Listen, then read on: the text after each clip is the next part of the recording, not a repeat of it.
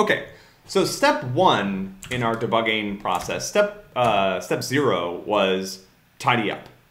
Step one is figure out what's going wrong. And this might sound like a super obvious thing to do, but you know, we do sometimes work with students that come to us and say, it's broken, or I'm not getting the points, or something's wrong. Um, and you know, the, the first step to solving a problem is understanding the problem. So if all you know is like you're not getting full credit, that's really not enough for us to start helping you. You do need to have some sense of what is going wrong. And so, so let's see how that typically manifests itself. So, so I'm, I'm using MP0 here. I've got the MP0 test suites up. Um, usually when you're working on the MP, you're going to be running one test suite at a time. We have instructions in the guides and in the lessons about kind of how to approach things. But I really do suggest that you know your typical workflow should be pick a test, usually in the order that we suggest, run that test, and if it you know if it fails, it will usually fail when you start because you haven't written the code to solve the problem. Write your code to solve the problem, run the test. If the test succeeds, great. Then run the entire test suite and make sure that you didn't break anything else. Because sometimes when you solve one problem, you create other problems in things that were working before. So that's a good step is to run one test. Once it works, go back, run the entire suite. Then, if the test isn't working, your goal is to figure out why. What is the test expecting to happen? And why didn't my code do that thing? Um, and so I've created a small problem with my MP0 starter code. Just going to walk you through the, the process of understanding what's happening. Um, so I'm going to uh, I'm going to uh, try this test case. Let's say I was kind of going and I was, uh, and, and if you look here, there's this little green arrow and you can use that, right? You can click on this and you can say run and it will automatically load a run configuration that just runs this one test. Running the entire test suite takes a while, particularly when you run some of the slower tests. So really do zero in on one test, run that test repeatedly while you're developing until you, you have a solution and then move on, right? Don't run the whole test suite every time and don't run the grade task until you're all done because the grade task is, is very slow and hides a lot of really useful output. All right, so this test succeeded. Now let's run the next test.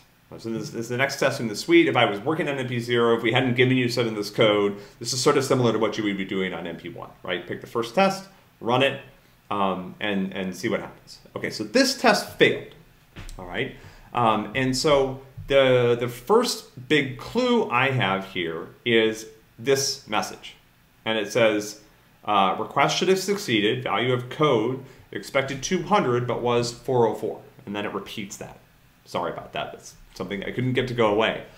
There's also a very, very important clue here that we want to use right away, which is that it gives us the line number in the test suite that caused the failure. And it's actually, when you see these links in error messages that are generated by Android Studio, this indicates that this is something I can click on and it will actually take me, boom, right to the line of code that failed. So this is the line of code that failed in the test suite. And this is my starting point for understanding what was supposed to happen. And so, you know, normally when you actually build things for real, you write the test suites and then you write the code. In this particular case, You'll learn how to write test suites later, but we've given you the test suites and your job is to write the code. Sometimes that means that you don't understand as much about what the test suites are doing, and that's a problem because in order to fix a problem, you do need to understand what the expected behavior is. What we've tried to do to compensate for this is we've given you test suites that we think are very well commented and explained.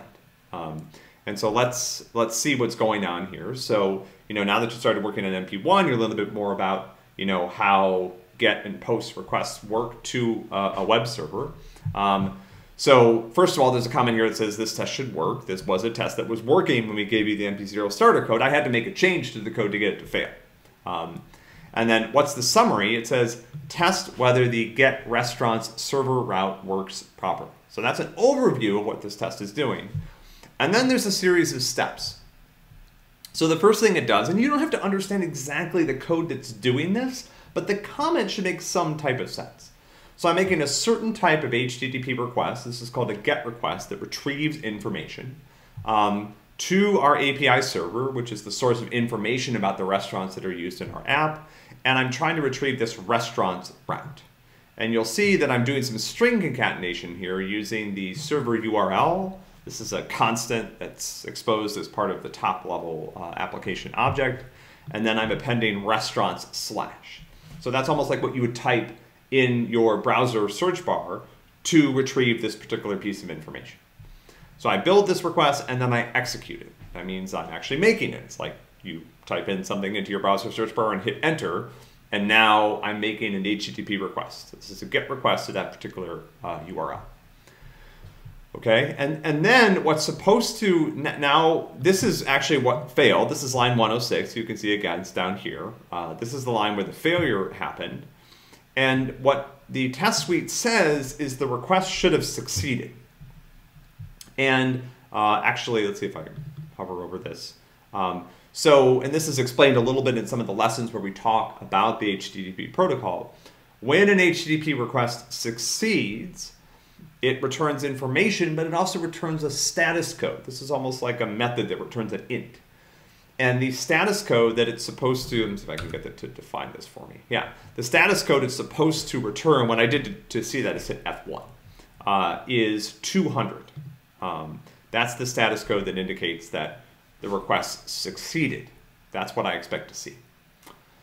But that's not what happened. So the, what the test suites do is they say, here's what's supposed to happen. The error message, however, gives me some important information about what actually did happen. So if you see this message, it says the value of code, which is this call right here, was expected to be 200 because this is a route that's supposed to work. When I make a request for this restaurant's route, I'm supposed to get back JSON with all the information about the restaurants in it. But instead what happened is I got the code 404. And if you review some of the lessons on this particular topic, what this code means is this route was not found. So let's try to put together some pieces of information here. So what, what did the code do? So that's actually a really good question to ask. What did the test suite do? that caused the problem. In this case, what I did is I made a GET request to the API server for the restaurant's route. That's exactly what's written right here in the test suite. And that's frequently what you're going to find, right? If you can figure out where the test suite failed, you kind of look up a little bit and for the next, for the first place where it says like formulate or do this or whatever. And that's what was happening, right? I made a request to the API server for this particular route. Uh, you know, execute the request was just actually making it. I formulated first, then I executed. And then it sort of succeeded, which means it should have returned this status code 200. So what did I do? I made a request, a GET request for the slash restaurants route from our backend API server. What did I expect to happen? I expected it to return a 200 status code, which indicates that the request succeeded. What actually happened? It returned a 404. Now, what is a 404? A 404 is a status code that indicates that this particular route was not found on the server. So the server didn't know, I asked it for this particular piece of information, and it's telling me, I don't know anything about that. I don't have that route. This is like if you go to a website and type in a page that doesn't exist, this is the status code that gets sent back to your browser as a 404. Many of you have seen this as you've browsed the internet. You've seen like a 404 error. This is where it comes from. It's the HTTP status code for this page is not found. So now I have a much more clear idea of what is going wrong. And, and I would probably, you know, like write this down somewhere, right? If I was actually debugging, I might have a little notebook where I wrote down, you know, what am I working on right now? I actually have a little uh, thing over here where I keep track of what I'm working on. I might write, you know, bug with slash restaurants route, you know, expects 200, returning 404, right? And really what that means is that this route is not found. So there's something wrong with my server code because the server code, when asked for this route, should return information about restaurants. And it shouldn't return a status code that indicates that the route doesn't exist. So now I have a good, I still don't know why this is happening. I don't know what's wrong with my code. That's our next step, is to take some actions that will help move us in that direction, towards understanding what the problem actually is. But I need to be able to formulate the problem.